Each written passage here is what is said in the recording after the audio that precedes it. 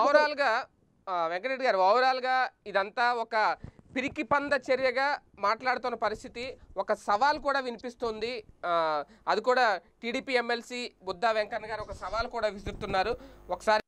ఆ సవాల్ మీరు స్వీకరించడానికి సిద్ధంగా ఉన్నారా? తెలుగుదేశం పార్టీ వాళ్ళని ఇబ్బందులు పెట్టి పైశాచిక ఆనందం పొందుతున్నారు. ఇది శాశ్వతం కాదు.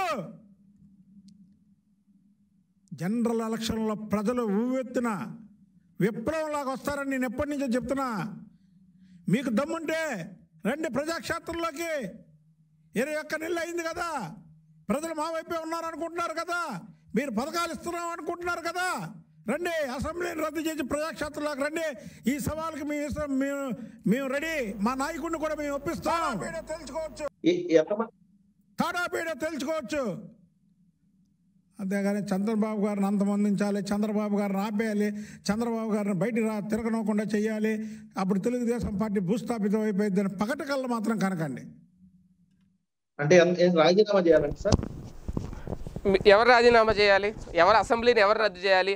ఎవరు ప్రజాక్షేత్రంలోకి వెళ్ళాలి? మీరే వెళ్ళాలి. కేసీఆర్ నాని గారిని అడగమని చెప్పాలి. మన బుద్ధా వెంకట బుద్ధా వెంకన్న గారు. ముందు మీలో మీరు సఖ్యత చూసుకోండి. ముందు మీ ఎమ్మెల్సీ పదవి మీరు రాజీనామా చేసి బేషరతుగా తప్పుకోండి. అసలు ముందు మీకు మీ కేసీఆర్ నానికి సంబంధించి మీకు సంబంధించిన వ్యవహారం అంటే తీర్చుకోండి మీరు రాత్రి అల్లూరు సీతారామరాజ సినిమా ఒక పది సార్లు చూసినట్టున్నారు. నిన్నటి నుంచి ఒకే రోజు బుద్ధా వెంకన్న కంటిన్యూగా అదే చూస్తా ఉన్నట్టున్నాడు. మాట్లాడితే విప్లవం అంటాడు అల్లూరు సీతారామరాజు అంటారు. విప్లవం తప్ప ఏం మాట్లాడి నాకు అర్థం కాలేదు. విజయవాడ బట్టి విప్లవం ఏందో. విప్లవాలు మరి ఏందో ఆ విప్లవం విప్లవం వచ్చిందంట. వచ్చింది కదా. అందుకనే మన ఎయిటీ వన్ పర్సెంట్ వైఎస్ఆర్సీపీ ఓట్లు వేసింది. రేపు పొద్దున కూడా ఇంకా పెద్ద విప్లవం వస్తుంది కదా. ఇంకెక్కువ సీట్లు వస్తాయి రేపు పొద్దున ఎంపీటీసీ జడ్పీటీసీ మున్సిపాలిటీ కార్పొరేషన్లో దాని తర్వాత ఎక్కడ పెట్టుకుంటారు? తలకాయ బుద్ధ వెంకన్న.